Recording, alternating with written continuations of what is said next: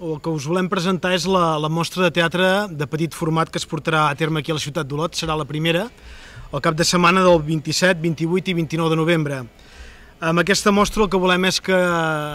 companyies professionals i semiprofessionals mostrin les seves propostes en espais reduïts de la ciutat d'Olot.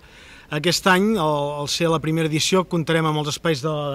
de l'Orfeo i dels catòlics i el nostre, el nostre objectiu, el que, el que ens agrada dir, és que ens agradaria aconseguir aquest vincle intimista entre l'espectador i l'artista amb aquests espais, doncs, de 40-50 persones, no? veure el teatre de ben a prop. Uh, us hem de dir que la programació, la venda d'entrades uh, i una mica doncs, tota la informació dels espectacles que es portaran a terme estan al web al petitformat.cat.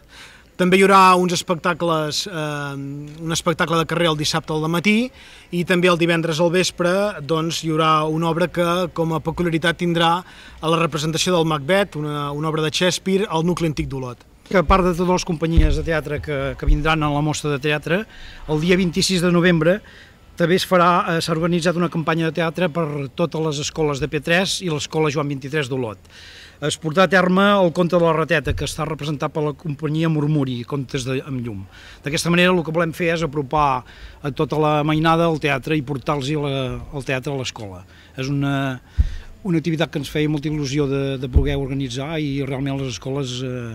s'hi han apuntat i, i han col·laborat. L'enhorabona per, per el que és una bona notícia, el naixement d'una nova entitat cultural, eh, una càpsula de teatre, una nova entitat cultural, que vol dir que hi ha gent eh, disposada a treballar a favor de la cultura a la nostra ciutat, la qual cosa sempre és una bona notícia. També que els projectes culturals doncs, moltes vegades tenen un principi i un final i si eh, tot just fa una setmana doncs, era una entitat cultural com l'Olot.doc que deia que després de 10 anys havia arribat al final del seu recorregut, doncs al cap d'una setmana veus que aquesta inquietud que tenen les persones per treballar a favor de la cultura doncs, es pugui presentar un nou projecte, en aquest cas relacionat amb el teatre. Penso que és una molt bona notícia, és a dir, eh, l'Orfeó i els catòlics que ja són entitats que des de fa desenes d'anys doncs, estan treballant a favor del teatre amb les seves companyies pròpies, el fet d'incorporar un festival eh, que pugui ampliar eh, la mostra d'aquell teatre que es fa al nostre país i que moltes vegades no acaba de tenir cabuda en el teatre principal, en el que organitzem directament des de l'àrea de cultura, sigui perquè no són obres de gran format o sigui perquè és evident que no ho podem portar tot, doncs és una boníssima notícia. I encara més eh, si es fa amb aquesta idea de petit format de proximitat, que és una idea amb la que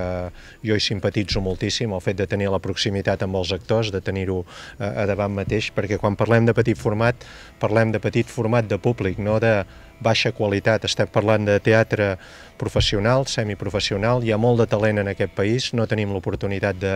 portar-ho tot a la nostra ciutat i penso que la selecció d'obres mm, que han fet per aquesta primera mostra doncs, és realment eh, destacable i, i, i us dono l'enhorabona perquè realment fa, fa il·lusió de veure.